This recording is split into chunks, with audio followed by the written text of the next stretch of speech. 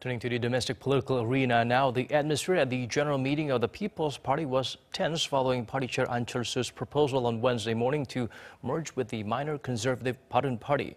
After the announcement, some party members demanded Ahn step down, saying that his plan to hold a vote on the merger of the two minor parties and come up with the results by the end of this month is an act of betrayal to his fellow party members, adding that the move even foregoes the democratic process.